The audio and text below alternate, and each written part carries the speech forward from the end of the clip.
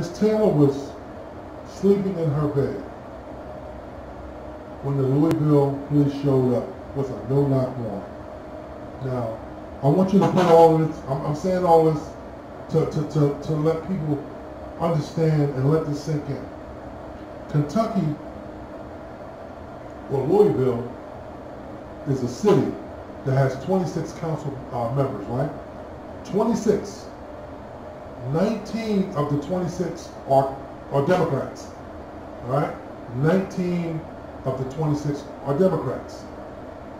The governor is a Democrat. And we keep hollering about the Democrats being here to save us. Always vote Democrat. They're going to save us. They're saying the same things. They're saying the same things. We have to pay attention. This is why, again, the message from this show is black solidarity with all black and brown people. We have to have our own power base. We have to have our own political base. We have to have our own message. As long as we stay segmented, whether it's Republican or Democrat, we're going to suffer the same. I read to you last week, uh, for those on the radio, uh, last week I, I read a piece from Joe Biden's speech. He talked about the rioters, the looters, and the unruliness of, of, of the protesters and called them lawless. He vowed to clean up the streets and the lawlessness that would not go under a Joe Biden uh, presidency. I want you all to let that sink in. I'm sorry about that. It was loud. I want you all to let that sink in. Because here's the deal. Democrat or Republican, they're saying the same thing. They're saying the exact same thing. These murders are going on. These, these, these kidnappings of black and brown men and women and children are going on in blue states. These incarcerations are going on under Democratic governors, Democratic mayors. So where's the justice? There is no justice. They bought, they paid uh, uh, the Taylor family, which they're supposed to do. It is a part of justice. It is a part of justice. It is not in lieu of justice. The payment that they received, or the judgment, I should say, that they received, was supposed to be in conjunction with a conviction, in conjunction with someone being held accountable for Miss Taylor's death, not instead of, in lieu of, in conjunction with. Reparations is more than money. There has to be accountability. There's a dead black woman.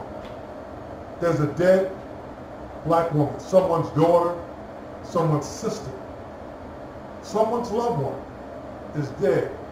And the government says that no one, no one is responsible for this woman's death. And this goes on and on and on and on every day. And I'm tired. I know everyone else is. This is why I don't play the videos of people of, of black people being accosted in the streets. This is why we don't we, we, we don't we don't play them on our on our Facebook or on our on our website because again we know what's going on. But when are we going to get mad and stay mad? When are we going to get ready and stay ready? When are we going to start working together? Again, again, black people, brown people, it is not our fault the condition we are in. Let me make this perfectly clear. Our condition is not our fault. We were born here in chains. We didn't immigrate here. We were forced to build this country, to labor and toil, to build the wealth of America. We fought for the freedom of the colonists. We fought on both sides of the war. We fought for England to keep its colonization and its, its hold over the colonies.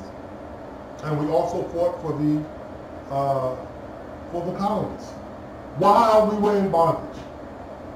There were blacks that fought and died in the Revolutionary